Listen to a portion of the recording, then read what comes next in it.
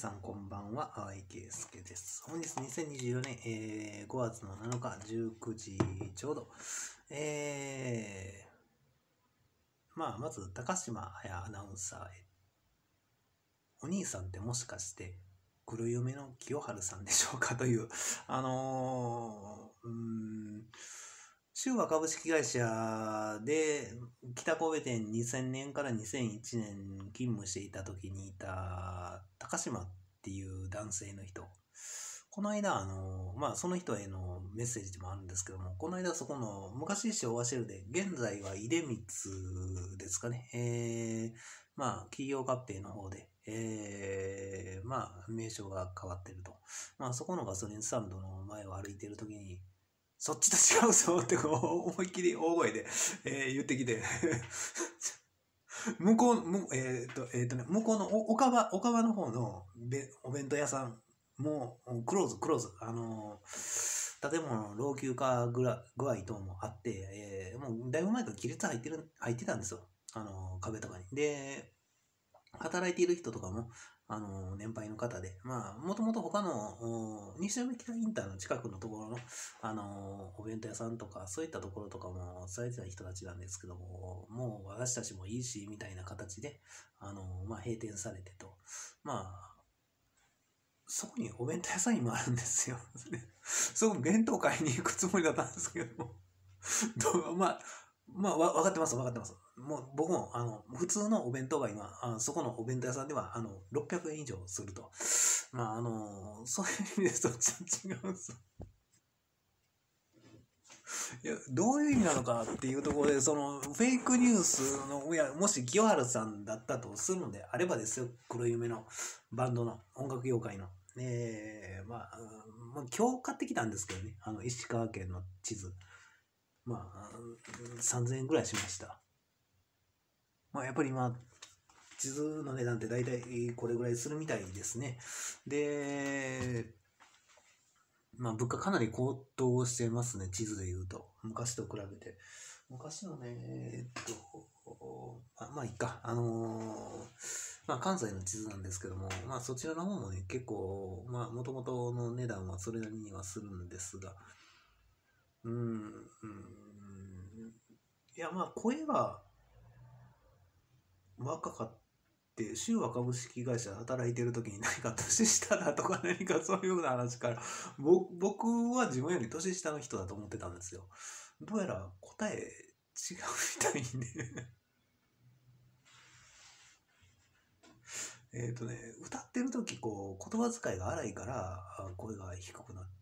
てたんですかね。いやもう完全に今ドイツ人物だと勘違いしていて 高島彩のお兄さんではないかというような設定で 話をしてるんですけどもうんまあよくわからない。でまあ中和株式会社のあの竹縄って名乗ってた人は、えー港川中学校の、えー最近やっと思い出したんですけれどもまあ僕はねあの神戸市兵庫区の港川中学校に通っていてそこの野球部の一つ上の学年の多分上田さんっていう人ですね。で、去年訴えた裁判の中で、えー上田あ実と思われる、まあ、名前の読み方、類ではないですね。あの、インターネット上では、神戸地方裁判所の第六民事部の、えー裁判官で、えー上田という人がいるんですけども、類って書いてるんですよ。類の方の。どういう意味なのかよくわからないんですけども、まあ、結局棄却されてるんですけども、裁判番号から見ると、えー調停から最初出して、まあ、あのー、春山整骨院ですよ。証拠の、あのー動画、たくさん、もう100ギガバイト超えてますね。で、性質が合わないので、地裁の方へということで。で、まあ、普通、それで裁判始まるはずなんですけども、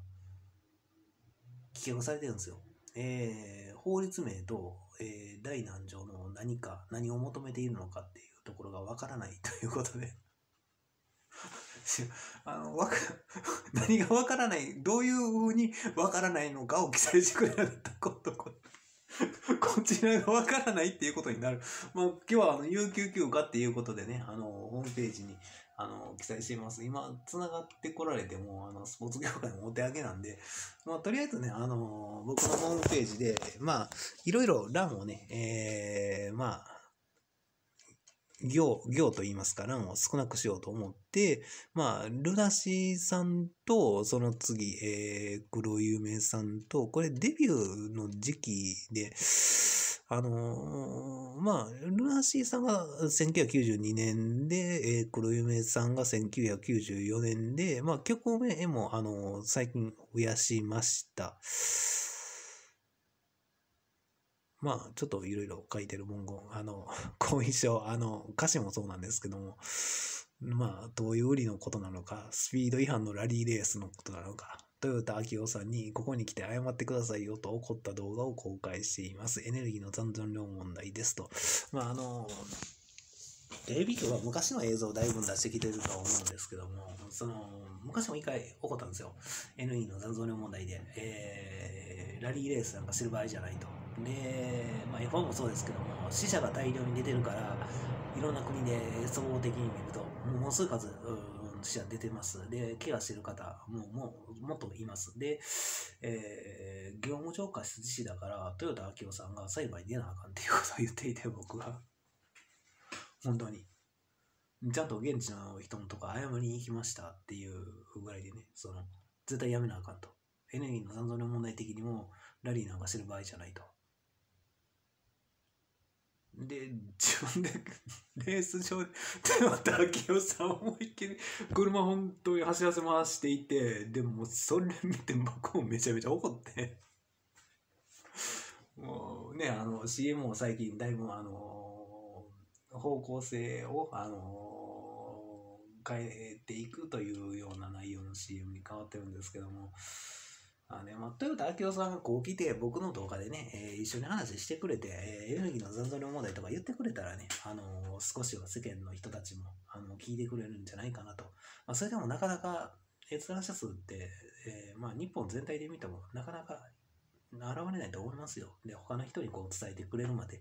してくれる人。で、また見たら見たで、数年経過したら忘れる人は忘れるでしょうし、僕も忘れてましたからね、エネルギーの残存量問題。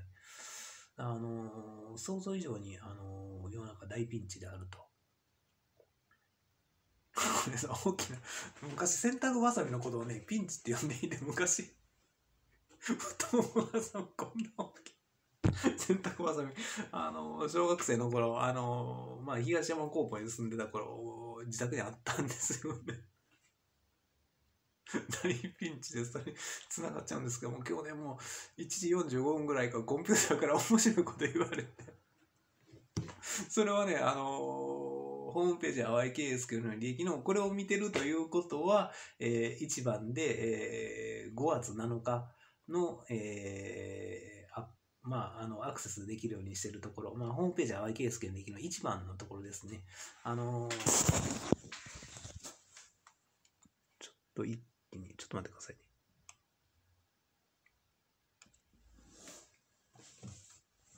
えー、っとね、ちょっと待ってくださいね。ハンカチでいいかな。上の方のあのパス、パスコードというか、アクセス先がこう、見えたら困るんで、ち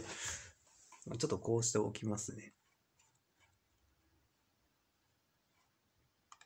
まあ、ホームページは y 圭介の履歴の一番、まずここに見て新しい書き込みがないか確認してくださいのところをクリックしてもらって、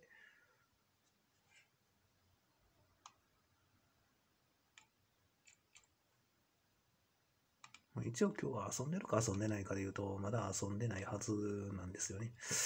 まあ、コンピューターからね、どんなこと言われてるかっていうこともね、まあ今日、まあこの辺のところは昨日の、あの、ボクシングの試合かのことですね。まあ、この辺は、まあ、ちょっと面白い話込み。ああ、そうそう、宇宙戦艦ヤマトも僕からの提案でリメイクしてもらった話とかも、うん、付け加えておかなければならないですね。それ知ってから、まあ、この先ほどの動画見ていても、まあ、笑い止まらなくなると思いますよ。そういう、まあまあ、あの、うん、まあ、まあ、あの、それとは別に、まだアクセスできるようにはしてないんですけども、まあ、して、えっ、ー、と、今してた途中かな。今はまあ読み込み中、まだチェック中で読み込み中、えー、96%。まあ、この後いろいろあって、まあ、時間がね、かなりあの長いんですけども、おかしい話ってちゃんと書いてますから、まあ、この続きもまだあるんですけども、まあね、この、うん、まあ、見えないと思いますけども、銭形のとっつぁんの話って、これもね、場合によってね、今今、今までテレビの放送でね、内容、あの、突然の案のことでも当てはまるっていう話。突然の案じゃないって、あの人は二十歳ぐらいの頃から言ってるっていう話で、まあ、そういうふうな内容をね、えー、ルパン三世の間にこう、混ぜ込んで放送してた時も、一時期あったんですよ。その、ルパン三世の、その、もともと昔は、僕は二十歳ぐらいの頃まではですよ。ルパン三世はテレビの放送は3までだったんですよ。で、まあ、その続きをイタリアとかで放送を、まあ、し始めて、まあ私からの提案でいいと思うんですけども、まあその後、ルパン三世がいろいろ、いろんなシリーズがこう続いていくんですけど、途中でやっぱ、泥棒が主人公、これは、ごめんなさい。泥棒が主人公、これはまずいっていうことになって、まああの、ちょ、ちょっとまあ、だんだんこう、フェードアウトというか、音だんだんこう消していくよ。小さくしていく。まあ、黒夢の清春さんへのメッセージでもあるんですけども、まあ、先ほどの、あの、欄のところ、えっ、ー、と、まあ、日本人のその男性の、あの、歴代バンドマンのベスト100のところに、ライコアエンジェルだけだったと思うんですよ。以前のその、えっ、ー、と、以前のものだと。それを最近、えー、黒夢さんの、えー、曲をいろいろと発掘して、で、まああ、男性バンドのベスト100のところに、ライコアエンジェルと、えっ、ー、とね、曲名何でしたっけ？ムーンライト。なんとかムーンライト。ミスムーンライトでしたっけ？あの曲は、あの、良い歌詞で、えー、良い曲調でいいなと。あの、で、歴代ベスト100に入ってくるなと。まあそういうところで、あとね、まあちょっと今、後から削除するかもしれませんけど、まあナイトデイと、まあ、マリア。マリア。これがややこややこしい話がいっぱいあるんですよ。あの、ファインハイゼンに僕所属してたわけじゃないですか。人材派遣会社の。で、フルーツラーパークで働いたり、えー、ポートピアホテルとか、大阪ヒルトンホテルとか、えー、まあ、ナルトのエサスリゾートホテルもそうですし、その前に2000年、淡路花区の時にウエスティンホテルだとか、収穫祭っていうレストランだとか、まあ、いろんなところで働いてたんですけども、まあ、その当時、山田部長、その後、えー、うん、取締役、大企業取締役じゃなくて取締役だったと思うんですけども、まあ、山田っていう人がいたんですけども、多分その人の娘が山田マリアという形で、えー、テレビに出ていたと。もう、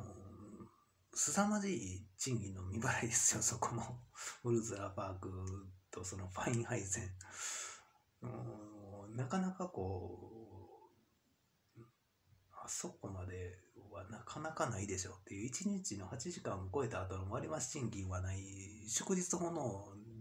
祝日祝日を日曜日の割増賃金ここは絶対あるはずだし、僕から言わせたら、行政が土日祝日休みにしてるから、土日祝日法のはずなんですよ、本当は。サブロック協定がどうこう言う人いますけども、それは行政が決めたことで、行政の人が働いてる、同じところで働いてるんだから、なんでそんなことになるんだと。それが、あの、こちらの言い分であって、でそもそもカレンダーでね、土日祝日が休みにしている以上、土日祝日はやっぱり、あの本当は土日祝日法のはずだと思うんですよ。学校教育もだんだん土曜日も休みになっていった方ですから、だからね、まあその辺のところが、うん、裁判した時どうなるかなっていうのはあるんですけども、変でしょあのサブロック協定の話も。祝日法があるのに、それ休みの日増やしてそこ出勤したら25%割増しってなるんですかね。なんかもうその時点でなんか話変でしょ。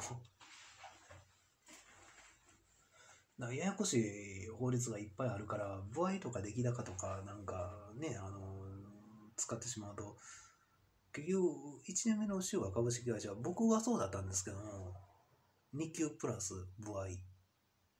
1万1000の時点で最低賃金法から逸脱してるから、どう考えても、あのまず8時間超えたら25%の割増賃金でしょ？で、ね、あの日曜祝日の25%の割増賃金があるから、うん絶対1万1000で、あんなすまじい長時間労働1日、朝の8時から夜早くて、だいたい22時30分に帰れたら早い方だったわけじゃないですか。みんな積み込みとかあったから。あの、現場9時までって、あれ、今考えたらね、緑ヶ丘は緑ヶ丘西、緑ヶ丘東は東で週1回ずつで、あと青山は青山で週1回だったはずだと思うんですよ、もともと。で、10キロ、10キロ、10キロマックス。まあ、一般人の人に向けて言うと1万リットルの販売。で、多分、うん、年末のその時だけで、あとは1回給油で7.5ぐらいだったんじゃないですか、後の日。週1回のところだったら。で、それを無理やり青山くっつけて、週2回回ろうとして、現場9時までって、なんかわけのわかんない、あの、売り方で、それ回る範囲が狭いから早く終われる日が早あのたくさんあるっていう話であって、まあ時間帯はある程度何時から何時まで回りますのところと、まあ確かに夜じゃなかったら仕事行ってるから買えないっていうお客様もいるにせよ、だから1回目ちゃんと回って2回目、あのーまあ、トイカン出てるところだけ、えー回るみたいな形の二度回りで週1回で多分良かったと思うんですよ。そしたら多分現場8時で終われて、えーまあ、だから1年間のベースで見たら、まあ、110、20、120キロぐらい売れてるコースだったんじゃないですかね。だから、すごく効率の悪いことを当時してたんだなと。あと、違法行為。あと、その、供託金。払ってもらったことなんですよ、僕。3シーズン分ありますね。もう話、最初から最後までめちゃくちゃですね。で、あの、週和株式会社のあの昔の販売数量だったら、1缶790円の頃、あの、1万リットルのコースが結構、マックス1万リットルのコースが結構あった時代。ああいう、あれぐらい頑張ったら、多分、賞与つけなきゃおかしい。で、あとは、石油の権益とかがある程度日本持ってるから、あとは原油価格を上げていれば、しっかりとした賃金を払えていたっていうことになるはずなんですよ。どこの会社も。石油関係のところ。で、エネルギーの残存量問題考えたら、レギュラー、昔見たと思うんですけども、うん、1リットル、早くかな ?1 リットル200円ぐらい。だからそれぐらいの価格は、を、まあ、うん、レギュラーで、レギュラーで1リットル200円以上にはしなかったら話が全然おかしい。その、電気代だけがすごく上がってるのに、石油の店頭価格は上がってないんですよ。レギュラーのガソリンが164円。まあ近くの JA のところで。だから、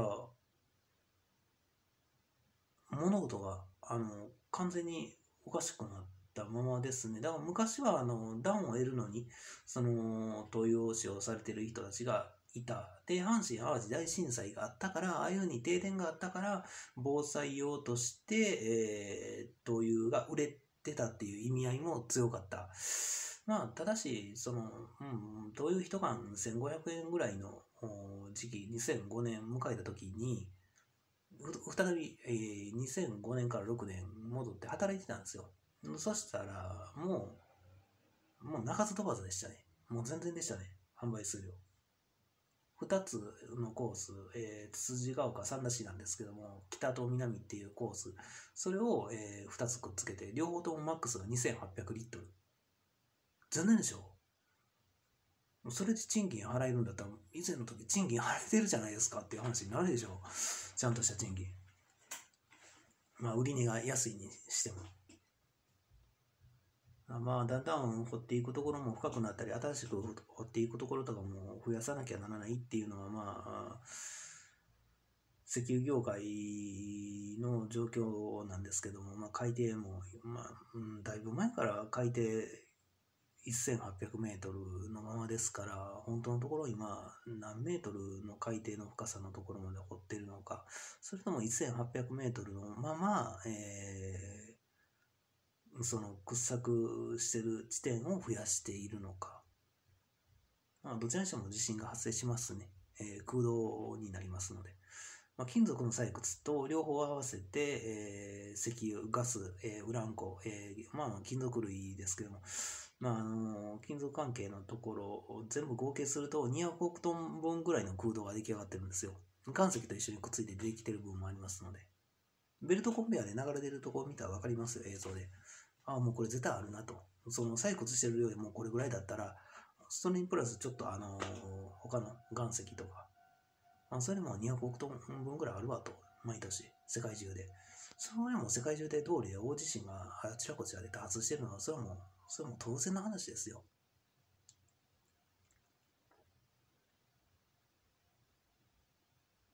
ところで、清原さんが高島彩のお兄さんだったということでしょうか。で、州和株式会社で働いている時に、一重にはなるけども若返っていたっていうことなんですかね。まあ、高島彩アナウンサーの方が僕より年下なんですよ。ただ、お兄さんの年齢が、まあ、まあ、ウィキペディアの内容ですからね、何を信じたらいいのか、その、ラルコ・アンシェルのドラマの、雪広というものも、まあ、本当は僕と同じ小学校だったんですよ、同級生で。だから年齢が、うん、ウィキペディアでだいぶめちゃくちゃになってたんですけども、高島は1979年の2月18日だから、学年で言うと、うん、一つ違いの学年なんですよね。僕は1977年の8月9日生まれなんですけど、えー、っと、お兄さんが、高島剛という名前ですけども、1974年生まれ2月24日ということになってますね。だまあ、うん、まあまあ、ラルカンシェルのドラマのその雪広に関しては、年齢、同じメンバー、そのラルカンシェルの他の人たちのね、メンバーの年齢と合わせて、年齢偽ったみたいで、えー、っと、ラルク・アンシェル自体が、え、っと、いつでしたっけ、メジャーデビューしたのが。ちょっと待ってくださいね、見てみますんで。グレイの皆さんより先だったんですよ。確か、ラルク・アンシェルの皆さんの方が。違いましたっけ？えっ、ー、と、ちょっと待ってくださいね。あデビュー時期書いていたり書いてなかったりですね。僕のホームページの方で。違いましたかね？えっ、ー、と、ちょっと待ってくださいね。ああデビュー時期書いてないですね。ホームページの方に。確かにラルフ・アンシェールさんの方がグレイの皆さんよりも先にデビューしたような気もするし、今考えたら違うかなという気にもなってきますし、うん、確かそうだと思う。ラルク・アンシェールの皆さんの方がグレイの皆さんより先にデビューしてたと思うんですよ。グレイの皆さんは1994年ですね。で、グレイの皆さんもビーズの皆さんも、えー、フルズラパークに働きに来てると。ルラシーの河村隆一さんも確かそうだったと思いますし、他のメンバーの人もいたかもしれません。ソフィアの松岡さんは小学生時代の頃に阪神・淡路大震災より前ですね、だいぶ。まあ、あの、夢の町の夢の住宅というところの友達の家で会ってますね。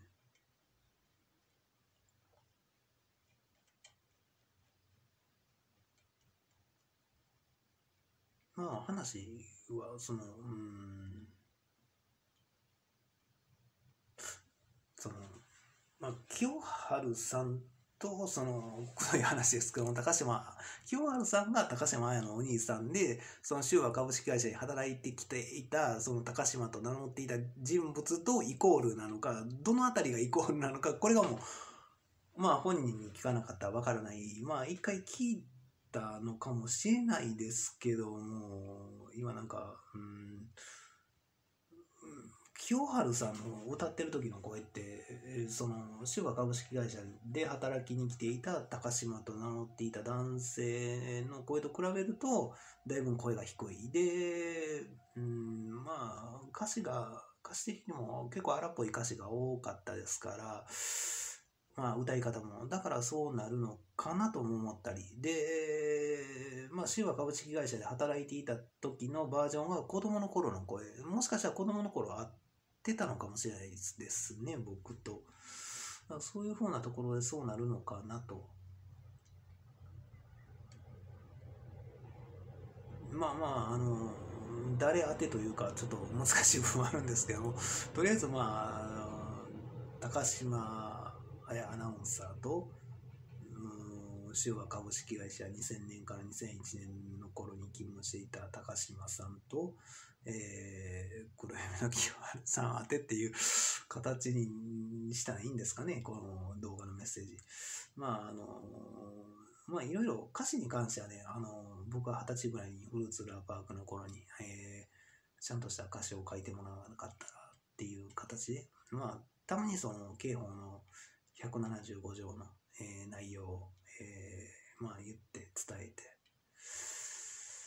まあ、テレビ局にも伝わってたはずなんですけどね、まあ、それで、まあ、グレイの皆さん、まあ、グレイの皆さんはまだ、うん、まあ、うん、まあ、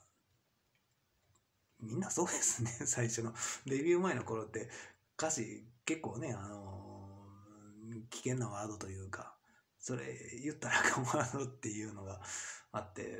まあ、175条で一体いくらの罰金なのか、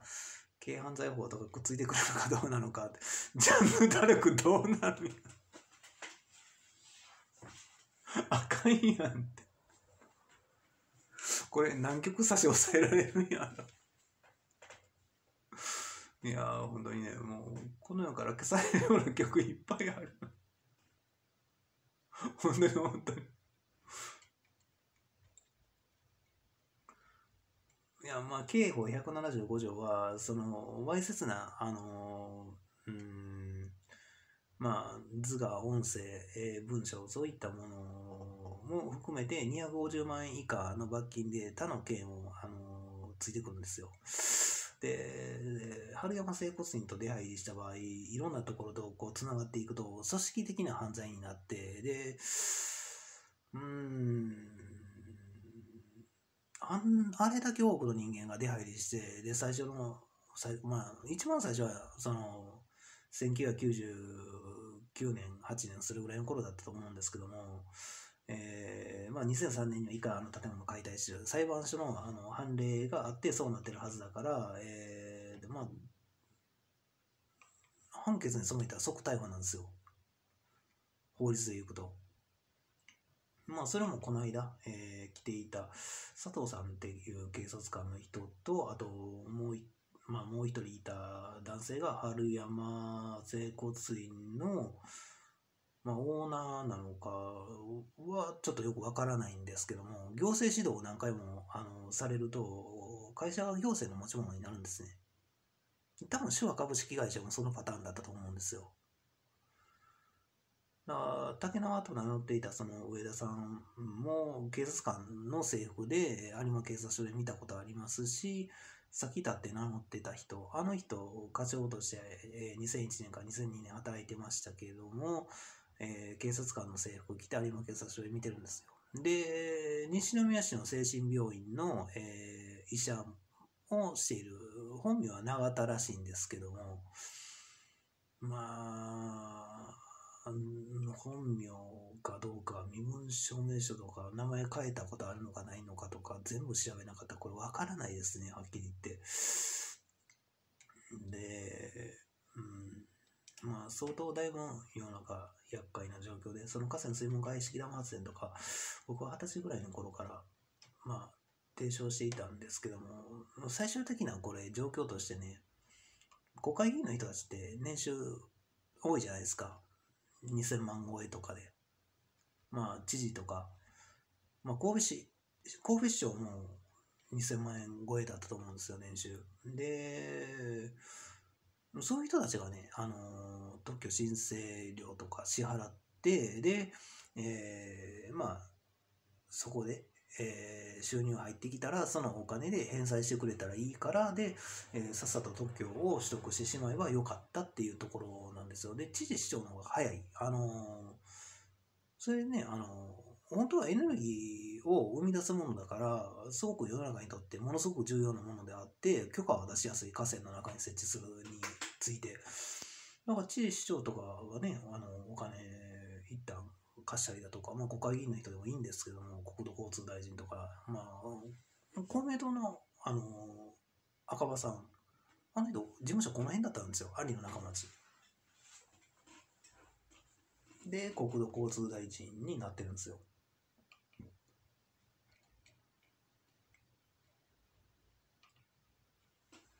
鳩山幸夫さん、小仁さんも僕と会って話したことがあるんです僕は二十歳ぐらいの頃。で、今の、まあ、以前のその安倍さんとか菅さんもそうですし、他にもいっぱい総理になってますね、僕とはって話された方。それはエネルギーの残存問題と、あと世界の平和の部分での、あの、外交の分、今までの歴史がありましたが、テレビがすぐにややこしい放送するでしょう。あれされると、国家間の、あの、感情とか、テレビ見てる人とか特にそうなんですけど、あとまあ、結局、まあ、年配の人がそういうふうな意見を持つ。その辺のところは、あの、厄介なところで、テレビ出てる人で、その、年配の人のコメンテーターの人たちが、あの、戦争について、あの、厄介な発言をするわけじゃないですか。かそこは問題だったので、えー本当は国連でまとまっている。あまあ、その辺のところは 黒人初の大統領のオバマさんの誕生が必要だったりだとか、あとは、まあ、それはまあ、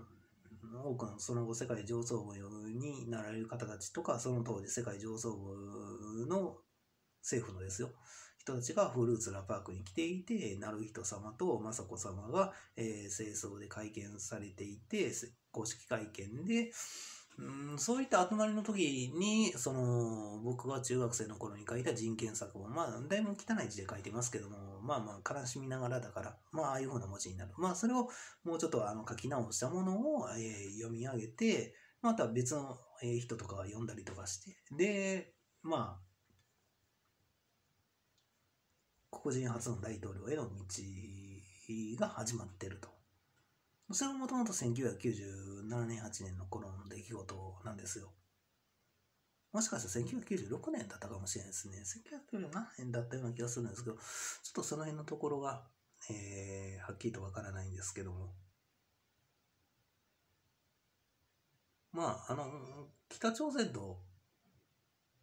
まあ、韓国の、ま、ムン・ジェイン大統領とキム・ジョンウンさんの首脳会談は、それを私から提案しました。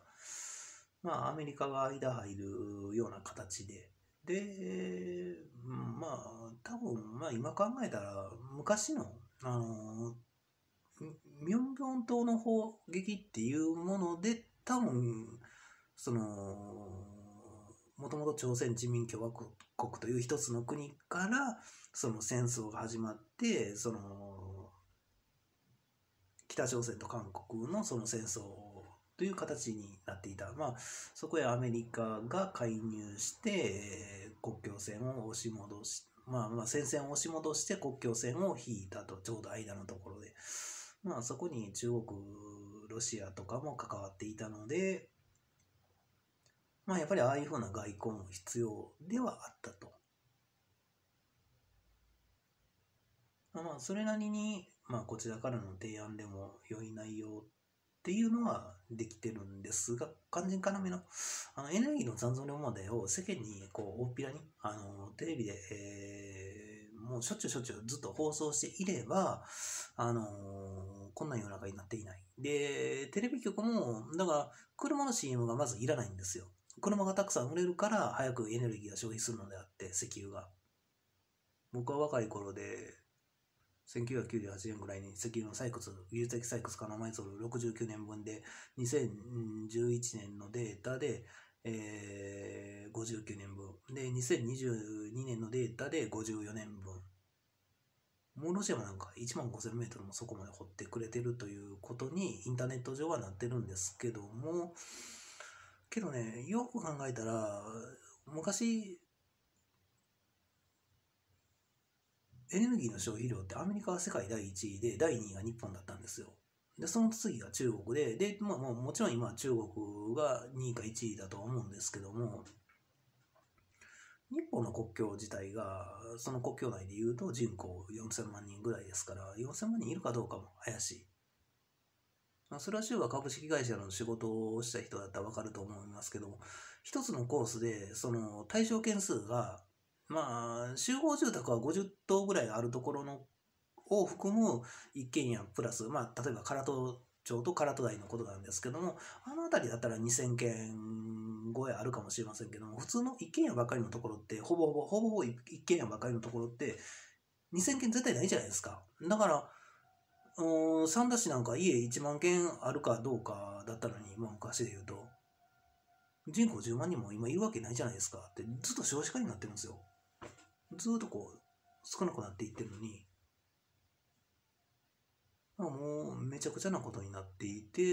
ー、それで三田市役所建て替えてましたから、あむちゃくちゃな方法で、地方交付税法でもらってたんじゃないかなと。もうそういう疑惑、疑念っていうのはもう持たれてもしょうがないでしょうね。いや、それ言ったんですよ。で、サンダーのその公務員の人たち、めちゃめちゃ叱られてましたね、議員さんも含めて。エネルギーの残存問題の人たちの方向からでいくと。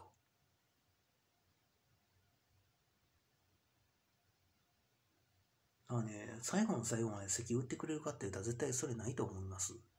ガスの方はね、残り49年分なんですよ。で、天然ガスの7割以上は石油の揮発したものなんですよ。まあ、本当にね、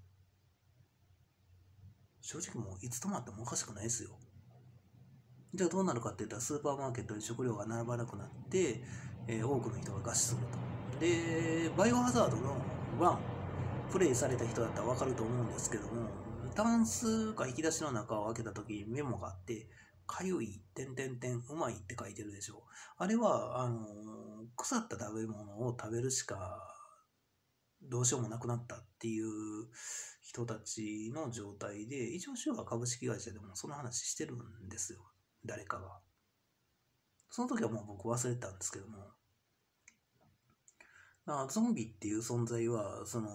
食料が手に入らなくなって、えー、もう体が弱っていて、もうボロボロになって、こう、痒いから皮膚がただれてるっていう書いて、それを、えー、ゾンビというような形で、えー、描いていると。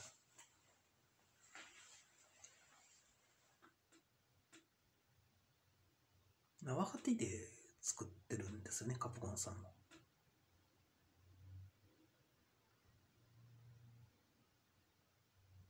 まあちょっとあの話がだいぶ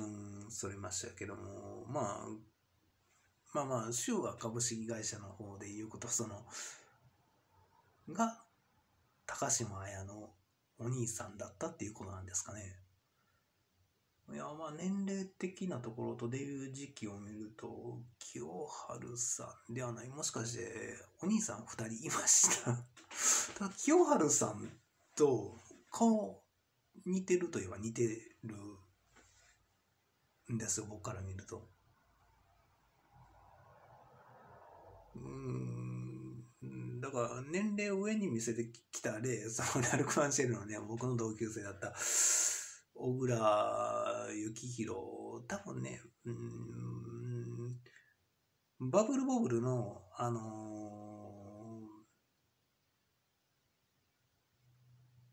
キャラクター、バブルン、ボブルン、えー、バブルンかな？あのバブルンの、多分ぬいぐるみの中に入って ドラム叩いてたの、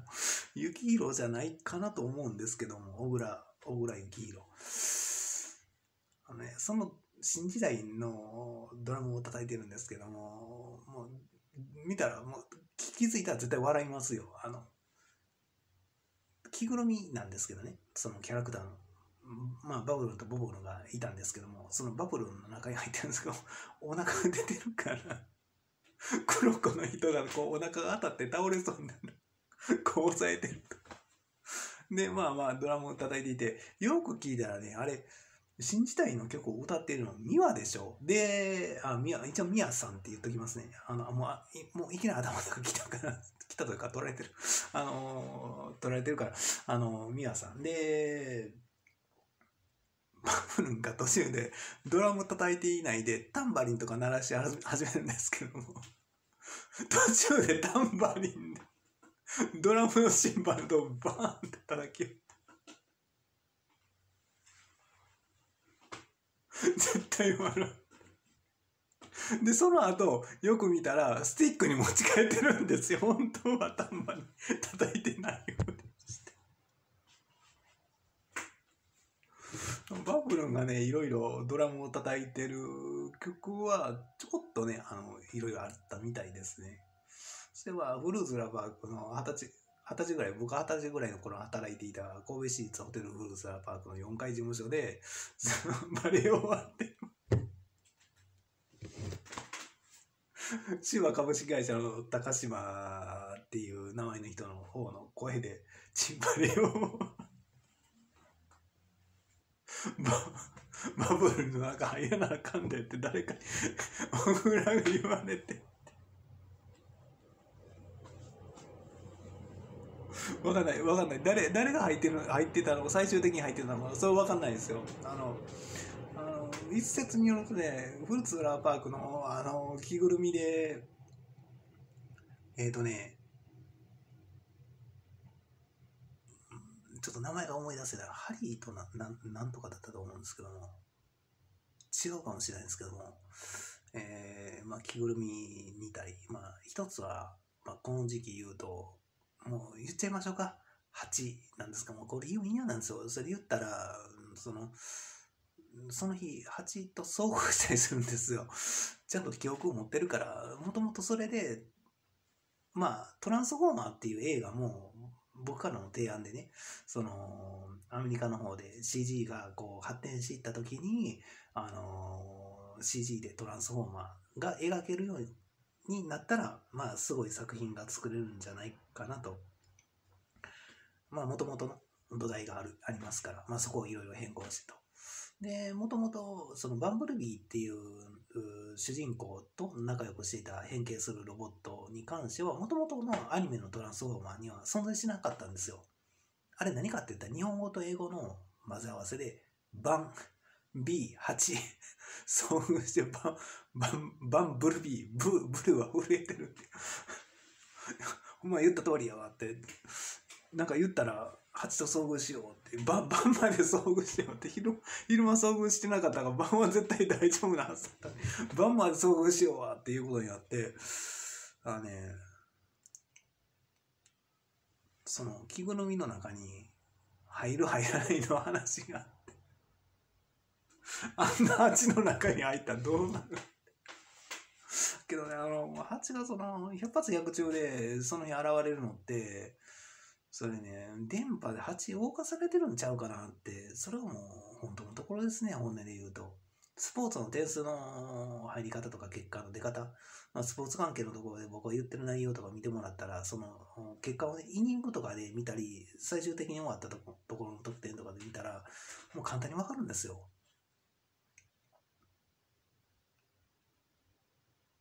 スーパーコンピューターはもうこれ以上大きくしない方がいい。今あるものを大事に。で、まあ、スーパーコンピューターを小さくしていって、まあ、気象衛星もいらないといえばいらないんですよね。その、情報の99.9%以上は、えー、海底ケーブルでつないで、えー、情報を往来させるんですよ。だから、情報から、その宇宙空間から送れる電波の威力なんか、たかが知れてますから、その太陽光パネルをつけて、まあどうにかしてるだけですから。だからね、あんまりそう、何大したことないんですよ。そんなに必要じゃない。衛星は。この手の話も昔、修和株式会社で僕の代わりにその上田さんが竹中さんが言ってた、まあ、かまど発電も結局何にも始まらずじまいでだから、手話株式会社の方で蒲田発電とかを行っていれば、その、プラス畑ね、ガソリンを使わない畑。あの時のみんなの筋力だったら、10メートルかける10メートル高安の桑の方でね、高安のって1時間ぐらいできそうな気するでしょう。多分、あの時のみんなの筋力だったら、みんな多分余裕だと思いますよ。あの世界の790円とか850円の頃の僕らだったら。で、うん、畑耕して、えー、まあ、稲田植え、田植えか、もしくは、えー、まあ、豆まき、お米の。まあ、麦でもいいでしょうし、小麦でもいいでしょうし、その、そういったことを多くの工作放棄地で行った後に、まあ、釜発電を各学校とかに作っていく。まあ、場所にもよりますけど、まあ、薪ストーブ止まり、まあ、都会のところとかまあ、薪ストーブ止まりにしておいて、とにかく節約っていうところを進めていったら、だいぶ変わっていた。で、田舎の方はね、まあ、この辺りもそうですけども、例えば、神戸市北高の範囲内で言うと、まあ、谷上から、えー、この辺り、まあ、二郎の辺りのところまでの、まあ、枯れてる竹とか倒木とかを、えー、燃やすだけで、えー、毎年冬、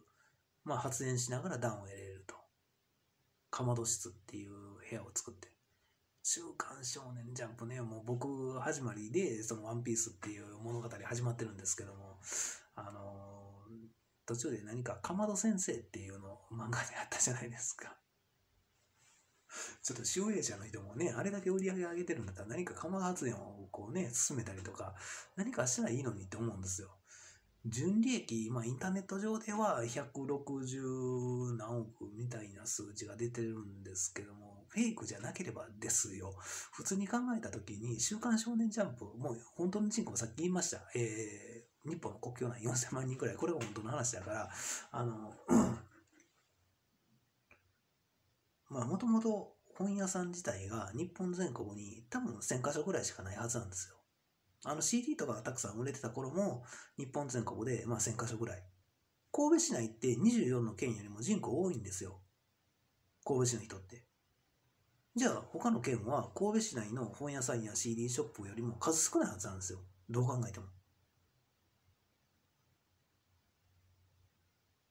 で、えー、物事が成り立ってるから、だから東京とか大阪やあと愛知県か神奈川県で生活してるような人たちとかは、世の中のこと完全に間違えると思うんですよ。1億2000万人本当に日本の国境内にいるって。それは北朝鮮と台湾と満州国を併合してた時の人口で、それも第二次世界大戦の頃が1億人ぐらいの人口で、後から戸籍謄本とかが上がってきて1億2000万人で死亡届も回ってきて、そこから人口減ってるっていう話で。だからね、あのー、世の中だいぶもう、もう本当のことをテレビが報道しなくなった時点でもう世の中めちゃくちゃですね。ああとは、うん、州和株式会社の、ああと山口隆っていう同期でいた人がいたじゃないですか。あの人がね、あの、その後店長とか試合してたんですけどもあの人もね、交通警察官としてね、有馬警察署で見かけました。で、うん、山口隆っていう人は、読売テレビの従業員として中継車の中にいたのを見見かけました。関西テレビの前でややこしいでしょう。で、うん、修和株式会社の社長の矢野秀和さんも、どうやら警察官だった可能性がありなんですよ。で、ありその有馬警察署でね、その、マスクしてた状態でね、その、ヴィッセル神戸、昨年僕の方で頑張って優勝させた年、まあ、阪神タイガースも日本一、茶色い服の方でマスクしていて、最初、あれ、なんかあの人どっかで見たことあるなって思ったんですよ。で、買い物行っていて途中で、あ、あれ楽天の三木谷さんやんって思って、で、買い物終わった後、もう一回ちょっと勇気出して有馬警察署に聞きに行こうと思って、で、えー、有馬警察署に行って、すいません、あの、楽天の三木谷さんですよねって聞いたら、笑顔で、違いますよってこう言うんですけども、これも すごい似てる。だからもう、この世の中のね、本当のことがね、えー、世の中ちゃんと種明かしをしてほしいっていうことになってくるんですけども、ただ、修和株式会社の矢野秀和さんも、その修和株式会社の社長の時に、両サイドを警察官の人に抑えられて連れて行かれてますね。あの昔の長時間労働で交通事故はあっちもこっちも多発していて、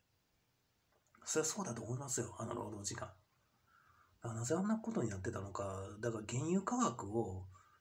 えっ、ー、と、いや、えっ、ー、とね、ガソリンのその値段を、店頭小売価格を、レギュラー1リットルあたり200円くらいにしたらいいんですよ。200円以上に。まあ、灯油の方は一缶もう2000円くらいでいいんじゃないですか。で、もう終わるところ終わっていくみたいな形で、まあ、なかなか自信がない限り、うん、